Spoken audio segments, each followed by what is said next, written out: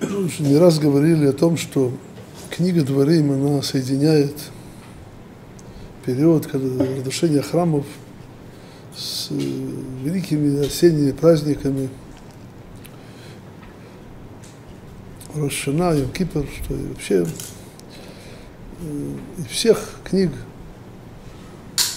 Торы, книга Дворим это, я бы сказал так, это, это книга порицания, это книга, это сефер мусор из, из, из всего пятикнижия.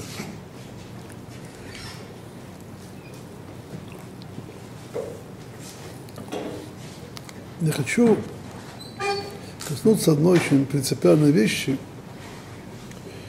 И для меня то есть источник этих вещей написанном, это будет то, что мы читали вчера главе Ре.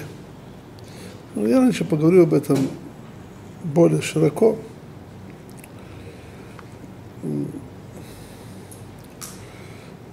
Приведено в Масахат Бабмеци, в главе Эрамециот, что почему был разрушен Иерусалим, почему разрушен храм, потому что судили по закону Торы.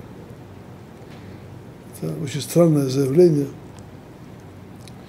И Гмара объясняет, что имеется в виду, имеется в виду, что люди были очень придирчивы, и везде, где ну, можно было уступить, они, они не уступали, если, если по закону не были обязаны платить. Но сказано, когда человек ведет себя неуступчиво, ведет себя по мере суда, то Всевышний правит миром принципу мера за меру, меда канегет меда, человек, который ведет себя по суду, то и с ним ведут себя по суду. А если Всевышний секундочку, если Всевышний ведет с нами себя по суду, то я бы спрятался не, не под скамейку, даже не под пол, а куда-нибудь подальше. Ну, просто, просто некуда. Некуда, да. Посудить альпидин, Нет, это, это касается судей. Но, но человек сам должен быть уступчивым. Когда, когда человек неуступчивый, то судьи обязаны, безусловно, судить по закону Торы. Но есть на нас ложна обязанность не доходить до суда, и более того, даже, более даже, даже сказать, с, с самого суда, судьи должны предложить сторонам, что сделать между ними компромисс. Это судья Масагат Санедрин.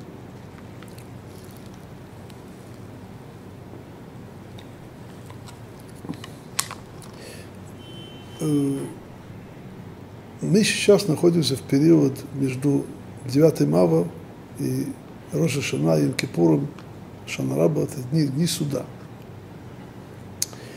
Конечно, если немножко в вдуматься, то все наше служение Всевышнему в Роша Шана это уже стоится, что Всевышний не судил нас по суду, а, а, а по, по мере милосердия. Это суть заповеди Шафара, это суть наших молитв, это все мольбы, которые молимся и до Рашана, и после Рашана. Это суть Йом Кипура и Йом Кипура. И тут я хочу коснуться нескольких вещей, которые у нас написаны в главе Ре. Ре. Что мы видели очень простые, четкие вещи. Я начну с одной такой темы. Есть тут э, тема,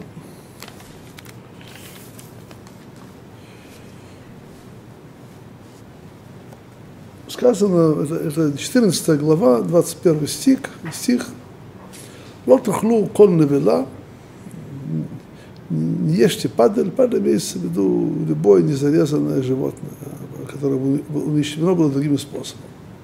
Когда не кошерно зарезано, это все включает в себя понятие навела. Что делают с, навелой? Сказано, что легера шербишареха, пришельцы, которые на твоих вратах, имеется в виду неправедный гер, а гер, который принял на себя запрет идолопоклонства, но он не принял себя соблюдение заповеди Торы. Называется принято это гер, который еще ест навела, падаль. Он, он, то есть у него есть, его надо, ему помогать, ему, ему можно дать, если он принял себя в еврейском суде, семь заповедей в Ноах, можно дать ему место в Иерусалиме, мы обязаны его поддержать, когда нужно. Даже если он не стал частью еврейского народа, не стал праведным гером. Но сказано, что делать, если, если так получилось, что еврейского резника у него не, не получилось шхита, и, и животное было неправильно зарезано, и умерло таким образом. Что, что делать с тем, что произошло? Говорит нам Тора, дай это этому геру, который еще ест навелот. И пусть поест, пусть ест. Дальше говорится, или продай это не еврею. Продай это не еврею. Говорит Масахат Псахим, что надо, э, надо в первую очередь предпочтительно дать ее бесплатно геру, который принял на себя заповеди Бдейнох. А если нет, то да, пожалуйста, можно продать все любому еврею. Есть у меня такой шкурный вопрос.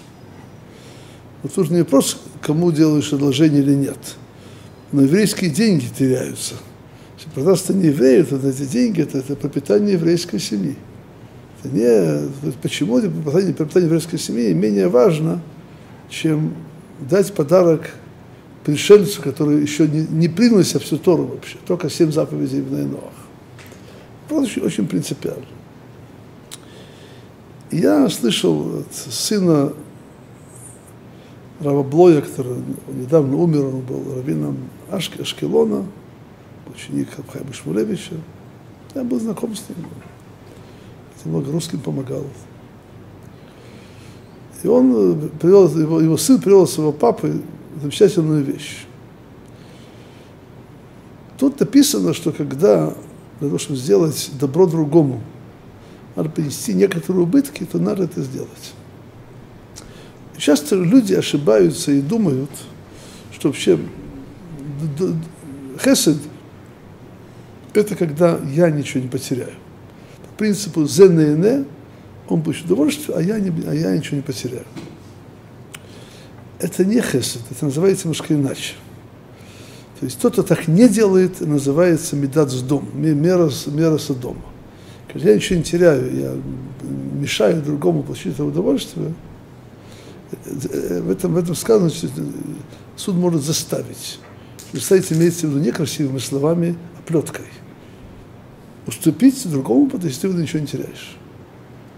Есть такое понятие в Талмуде «кофим аль дом» принуждают человека не быть сдомником. Э, э, то есть это минимум, когда суд обязывает его это делать. Когда мы говорим о добрых делах, когда мы говорим о том, что называется хесед, то, что уже имеется в виду, что человек уступил что-то от себя, с тем, что другой получил гораздо больше. Понятно, что для того же, для этого же гера получить хорошего быка бесплатно, это пропитание, так сказать, хорошее. А евреи, когда будут продавать, получат за это копейки. Это большой принцип, который я хочу, надо просто его знать, что человек должен не, не думать, что все заповеди Хеседа, добродеяния, должно быть все бесплатно. Что я ничего не должен терять. Надо уметь терять, чтобы сделать другому добро. Надо уметь терять. Это стоит того. Я приведу сейчас еще одно место в той же недельной главе, главе Ре. И место это очень тоже принципиально в еврейском судопроизводстве –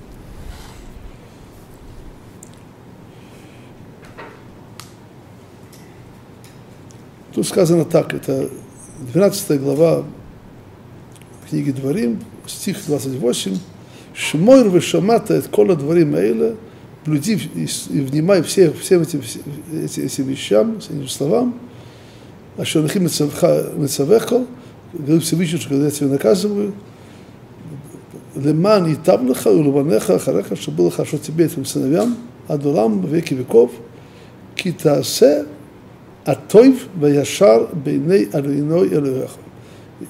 Потому что ты будешь делать тов, ваяшар. В глазах Всевышнего твоего Бога. Что такое Тов Ваяшар? Есть тут не просто сказано Яшар, а Тов. Есть тут э, огромная основа, которую часто люди забывают. Я скажу ее очень просто. Надо быть хорошим человеком. Что это хороший человек? Который любит э, делать добро другим. Это, это, это называется тов. И Талмуд выводит из этого места, из этого места большое правило, то, что от нас требуется, уступить, даже когда по суду мы правы. Суду мы правы. Это называется тов. Това и шар. Более того, эта уступчивость, это, в этом есть прямота. Агро приводит в Мишле, там, месте, точно в Руба Меция, как, если правильно помню, Рави Барахана, он нанял носильщиков, которые даже вынести ему бочки с вином, и они бочку разбили. Он взял с них одежду их в залог, чтобы заплатили ему убыток. Они просили его, чтобы вернул им одежду. Он пошел просить у Рава. Рав говорит ему, верни им залог. Он говорит, так полагается по, по, по суду? Он говорит, да. Сказано, Ламан телех бадарех что ты шел по пути, по пути хороших. Ну, он вернул им залог. Потом мне говорят, ну, мы голодные, мы весь день работали, ничего, не, нечего кушать. Нечего кушать. Что мы хотим, хотим, нас накормил. Опять пришел к рабу, говорит, заплатим зарплату. Заплатим зарплату.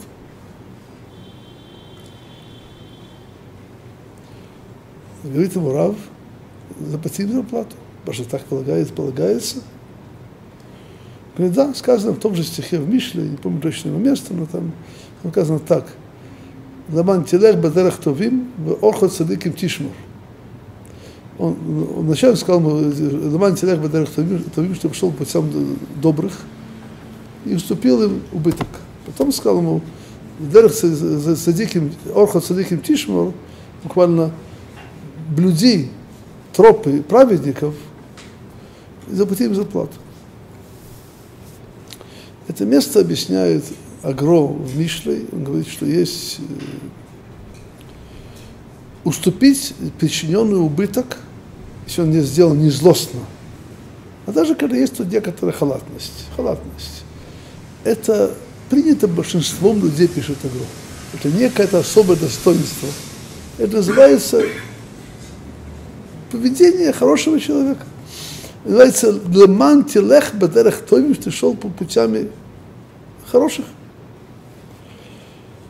Кроме этого, заплатить зарплату, это уже не, это не касается большинства людей.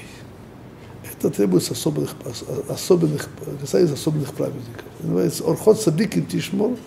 Объясняет, я говорю, что орах это, это буквально тропины, стезя праведников.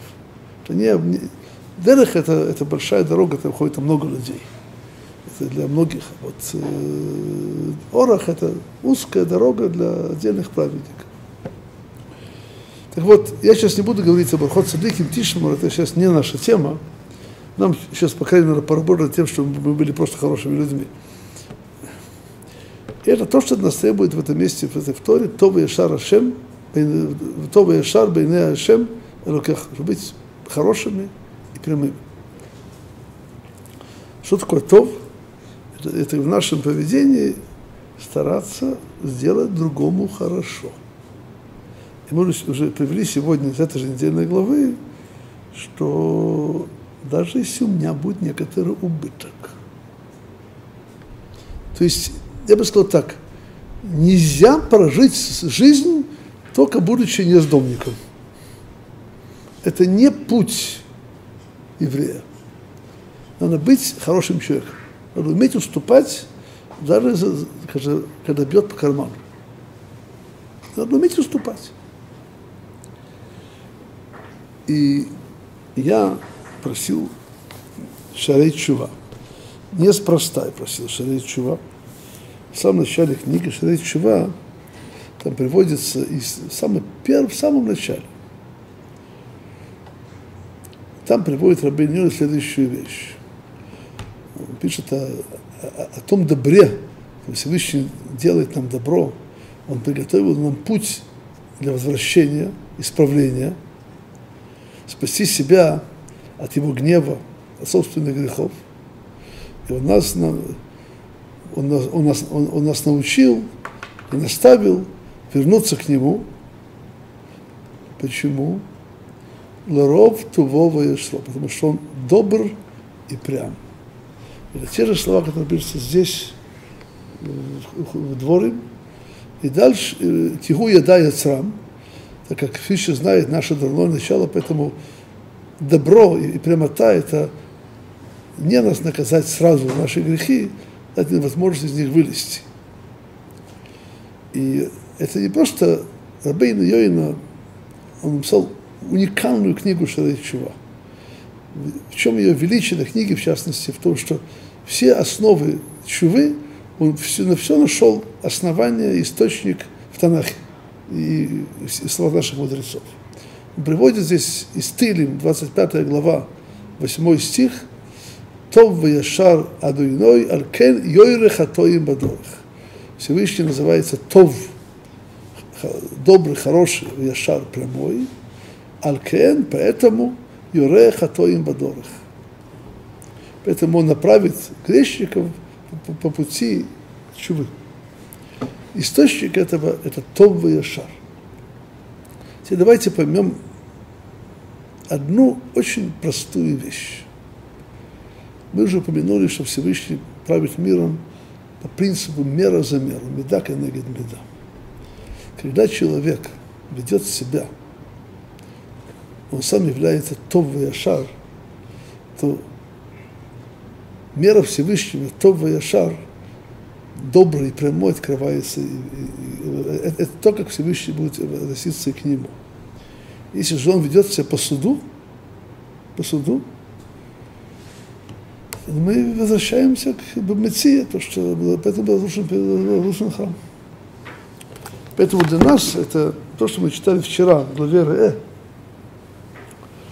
это великое исправление с тем, что мы могли удостоиться на грядущем суде Рожешина и Кипур.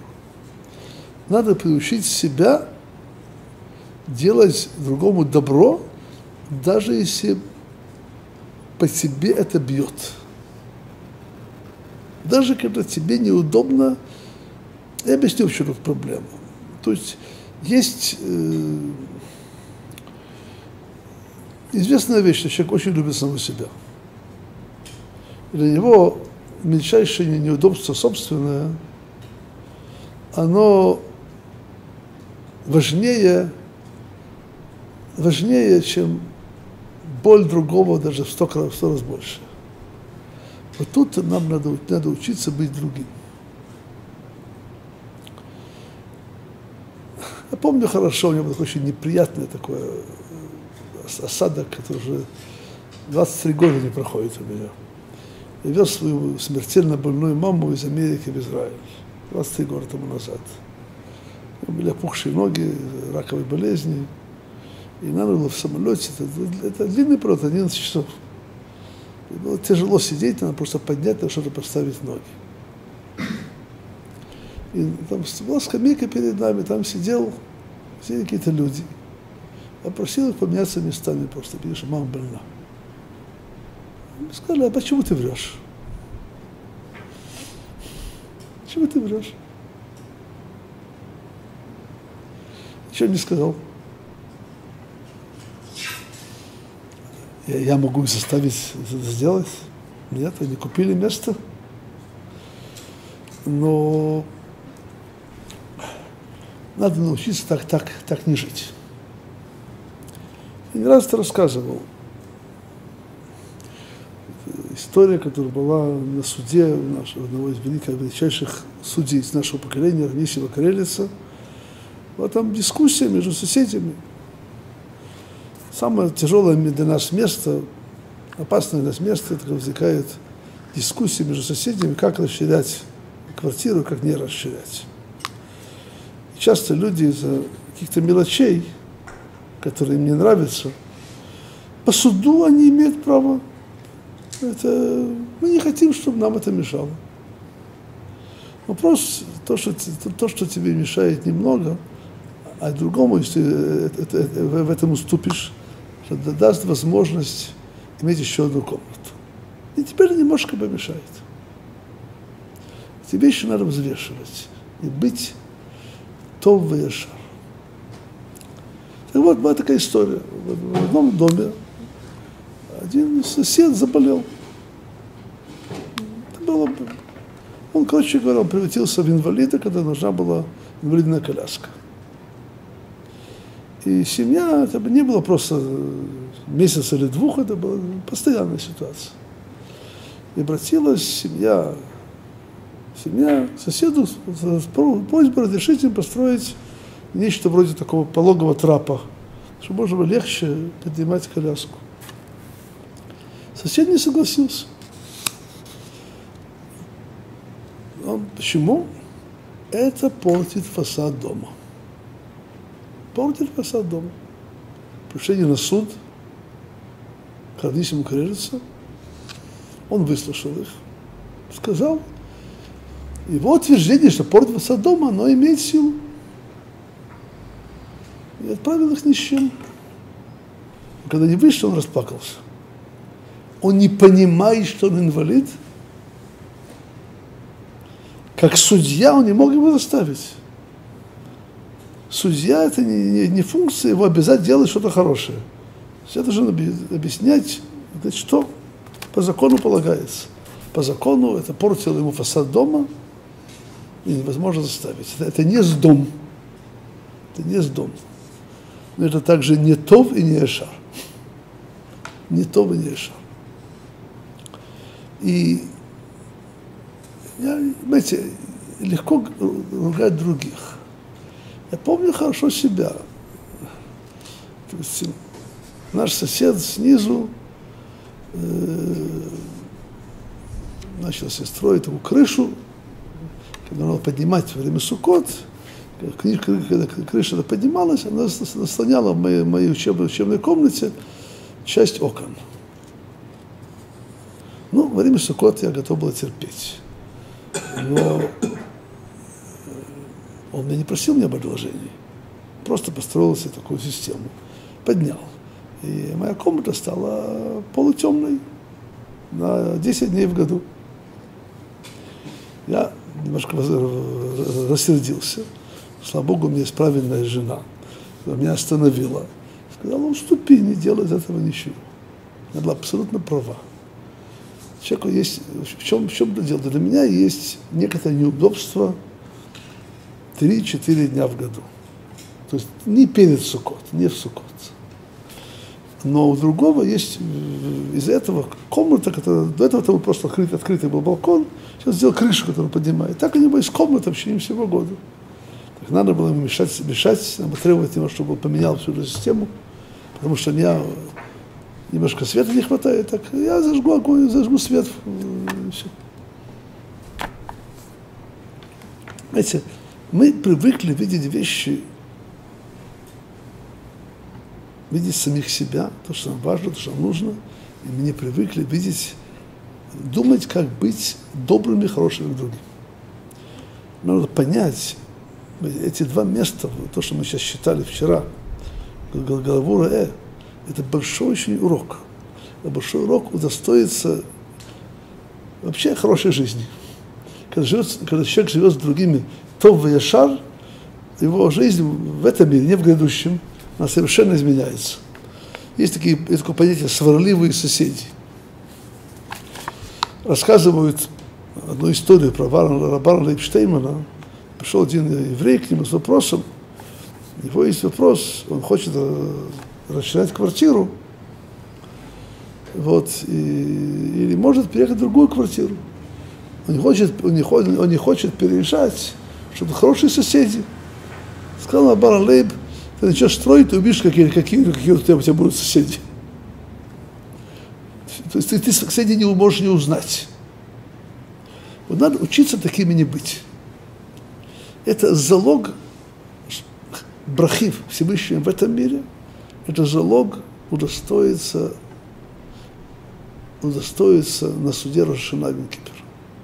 То, что говорится, что когда человек, это мера за меру, человек уступает другим, Всевышний уступает ему. Это сказано в Талмуде в нескольких местах, в Решонах, в Брахот, в могиле. Мавир Мидойсу Мухлим Лалколь Пшав. Тот, кто уступает в том, что он не обязан уступать, не обязан совершенно, с ним делать то, что неподобающие с ним себя ведут, он уступает, просили, чтобы люди обращались в его грехи. Мы, мы хотим удостоиться, чтобы нам Всевышний раскрылся, как Това Яшарашем, его доброта, его прямо так ведет нас к исправлению. Давайте начнем исправлять самих себя. И думать, как мы ведемся, ведемся с другими людьми. хорошего Элула, Ходыштов, Змантов.